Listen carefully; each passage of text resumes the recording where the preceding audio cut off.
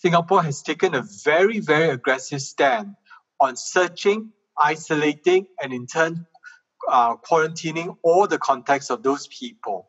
And yet, throwing so much measures and so much effort on it, we were not able to control it. Science revealed to us that there probably was asymptomatic or mildly symptomatic individuals that are sharing this virus out to the community.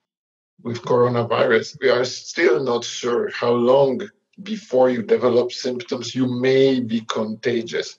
So then therefore, if if we are using mask not to protect ourselves but to protect others,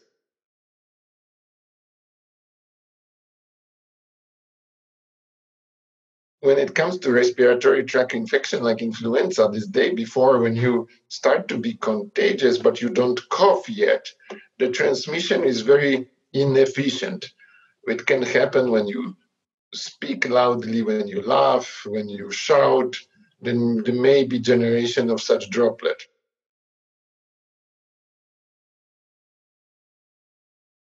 the virus has very high viral loads in the in the nose in the throat when the person first has the illness or even before the onset of illness. Which means that if the amount of virus that flies out, it will be a lot. In fact, it's about 1,000 times more than influenza.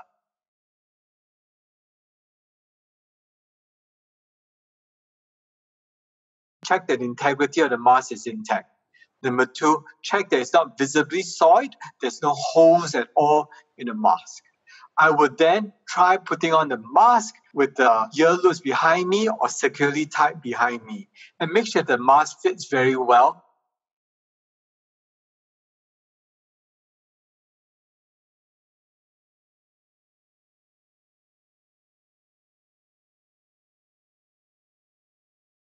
Reusable masks have been issued by the government of Singapore, and the idea is to use it every day when you go out.